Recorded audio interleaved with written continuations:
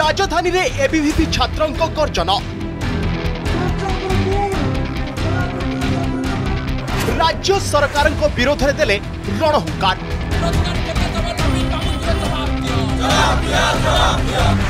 ବିଶାଳ ସମାବେଶ କରି ରାଜ୍ୟ ସରକାରଙ୍କ ଖୋଲିଲେ ଅସଲ ମୁଖା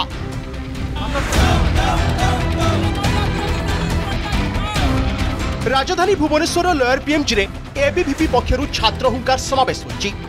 রাজ্যের ছাত্রছাত্রী শিক্ষা সুরক্ষা এবং রোজগার দাবিরে এই আন্দোলন করেছে বিদ্যার্থী পরিষদ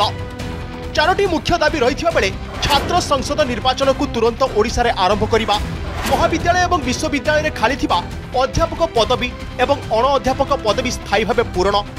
নবে প্রত কলেজ জমি কলেজ নামে এযায় পঞ্জীকৃত নহেবা মহাবিদ্যালয় পরিসরগুড়ি দলীয় রাজনীতি এবং গুন্ডারাজরু মুক্ত করা এবং মহিলা ও শিশু সুরক্ষা আইনকু কড়াকড়ি ভাবে পালন পাই দাবি করে বিধানসভা সম্মুখে গর্জিলা অখিল ভারতীয় বিদ্যার্থী পরিষদ आमर बार हजार पंदर हजार छात्र छात्री एकत्रित होती आ नवीन पट्टनायक जो शो पड़ते आम मुख्यमंत्री जो निदर भांगे आम सब छात्र छात्री आज एकत्रित होती रखा चाहूँगी आम हूँ जगन्नाथ मैटर छुआ आम प्रभु जगन्नाथ छुआ आम निज हक कही आसिकीचु आम निज हक लड़े आसिकीचु महिला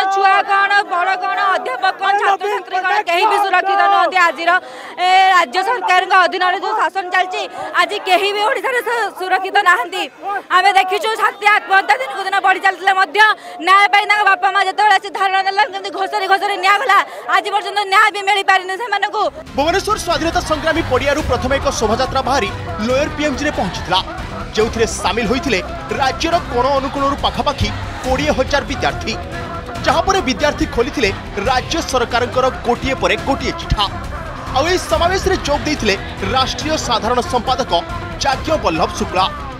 इकतालीस मांग को लेकर के ए का छात्र हंकार संवाद हम लेकर के यहाँ पे आए हैं विधानसभा के समक्ष और हम नवीन बाबू से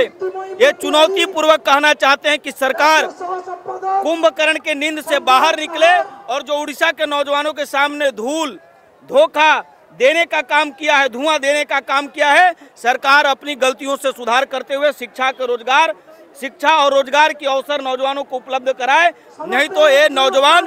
आप बीजेडी की सरकार के साथ दो दो हाथ करने के लिए यहाँ पर आज खड़े राज्य सरकार निगोड़ निद्रार अच्छा